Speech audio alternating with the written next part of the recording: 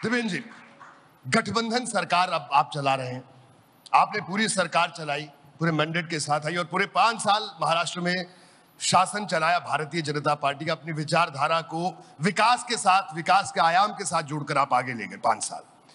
लेकिन अब गठबंधन की सरकार है तो क्या आपको लगता है कि जो देवेंद्र फडणवीस पिछली सरकार में कर पाते थे, सोच पाते थे महाराष्ट्र के लिए, वो इस गठबंधन की सरकार में भी हो पाता है? देखिए हर सरकार की अपनी एक काम करने की पद्धति होती है।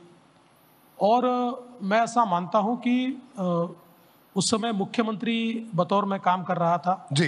तो बतौर मुख्यमंत्री आपके अधिकार भी अलग होते हैं निर्णय लेने की आपकी क्षमता भी अलग होती है।